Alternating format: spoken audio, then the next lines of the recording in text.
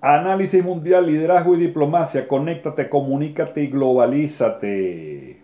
Miren, hemos realizado un ciclo, estamos realizando un ciclo para que todos estemos al mismo nivel en cuanto a los acontecimientos, a los a esos centros gravitacionales que marcan las tendencias mundiales. Y les invito a que puedan ver y oír nuestros programas de Global Total en YouTube, así que pueden visitar nuestro canal de YouTube Global Total en YouTube y pueden ver y nivelar todos los conocimientos que es necesario que tengamos para conocer qué sucede en el mundo, qué pasa en el mundo. A propósito de eso, en nuestro análisis anterior nos quedamos en el 11 de septiembre del 2001, momento en el cual el mundo cambió.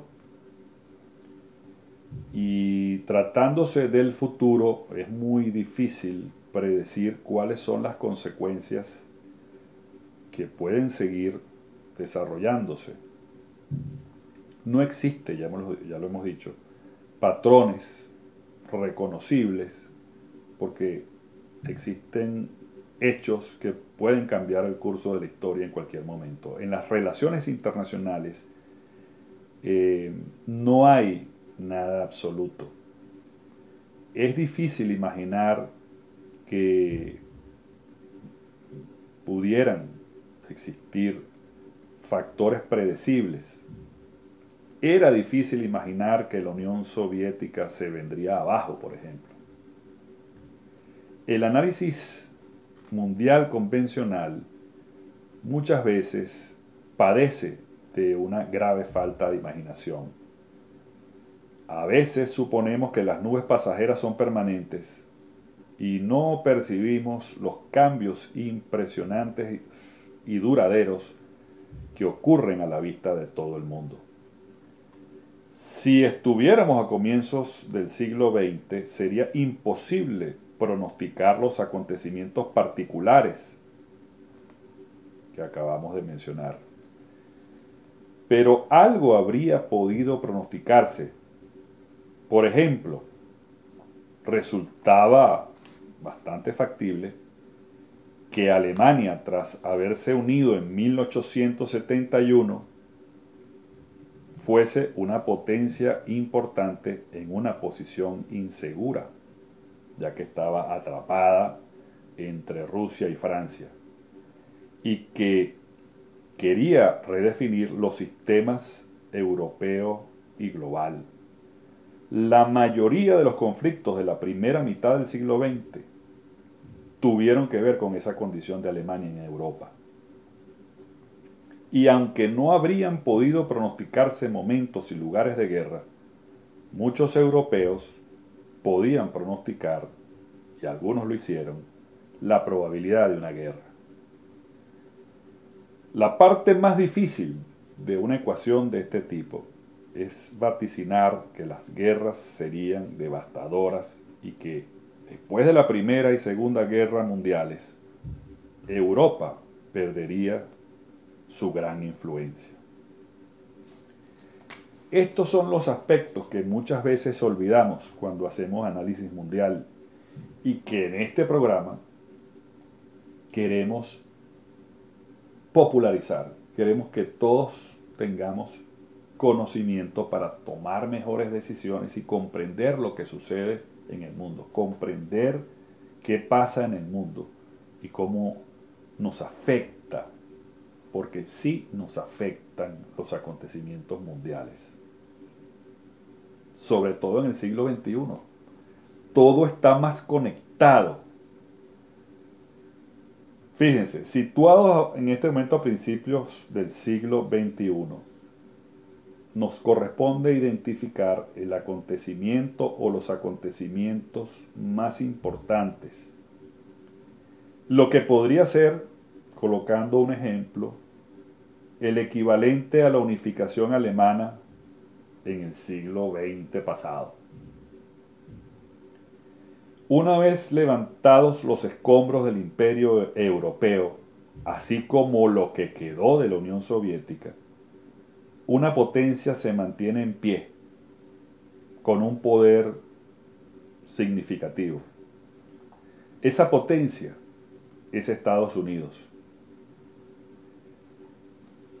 Claro, dentro de un mundo aparentemente multipoderoso. Es importante por eso, insisto en este tema, poder reconocer cuáles son las señales fuertes y cuáles son también las señales débiles, porque a veces las señales débiles son las que indican la verdadera tendencia. Por eso es muy importante no dejarse confundir por el aparente caos de acontecimientos en lo económico, en lo militar, en lo político. Estados Unidos es el país más poderoso del mundo y en nuestra muy humilde opinión, no hay rival que amenace ese poder.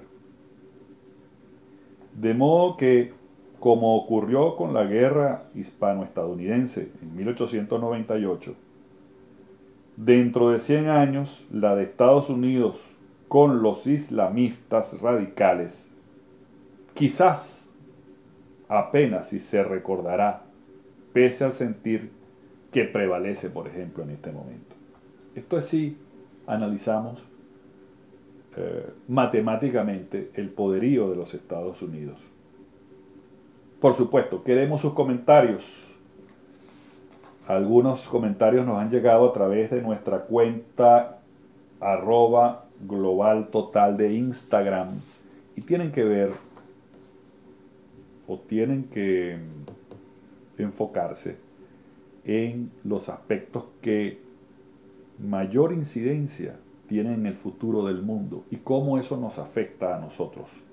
Así que escríbanos a nuestro email global totalradiotv.com y así poder estar conectados, comunicados y globalizados. Gracias a nuestro patrocinante, el Centro de Contactología del Este. Muchísimas gracias al Centro de Contactología del Este para ampliar tu visión total, un nuevo horizonte de visión con la tecnología oftalmológica de punta del Centro de Contactología del Este. Pueden hacer contacto con ellos al 959-3520 y al 959-2226 y acercarse al CCCT nivel C1 local G05. Centro de Contactología del Este, amplía tu visión total. Comunícate, conéctate y globalízate. Globalízate, global total, con Alejandro Nieves y Rafael Nieves. Global total.